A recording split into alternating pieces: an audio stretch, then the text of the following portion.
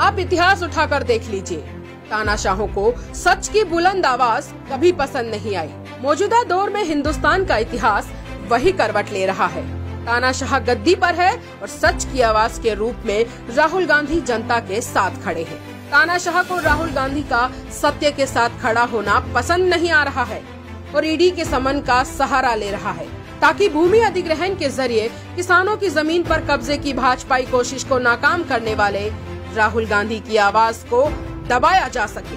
नोटबंदी में जनता के पैसों की लूट के खिलाफ उठने वाली राहुल गांधी की आवाज़ को दबाया जा सके। गब्बर सिंह टैक्स की कलई खोलकर व्यापारियों, छोटे दुकानदारों के साथ खड़े होने वाले राहुल गांधी की आवाज़ को दबाया जा सके। काले कानूनों के खिलाफ किसानों की ढाल बनने वाले राहुल गांधी की आवाज़ को दबाया जा सके।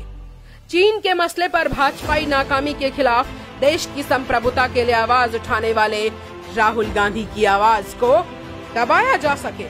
नफरत, बेरोजगार युवाओं, महिलाओं, दलितों, पीड़ितों की रक्षा के लिए हमेशा सच की आवाज़ बनने वाले राहुल गांधी के कदमों को रोकने के लिए तानाशाह ईडी के समन का सहारा ले रहा है।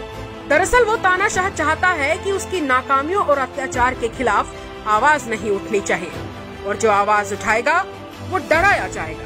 अगर वो तानाशाह कान खोल कर सुन ले। ये गांधी का वंशज है। इसे रोक नहीं तुम पाओगे। सच की इस लड़ाई में राहुल से जीत नहीं तुम पाओगे। जय हिंद।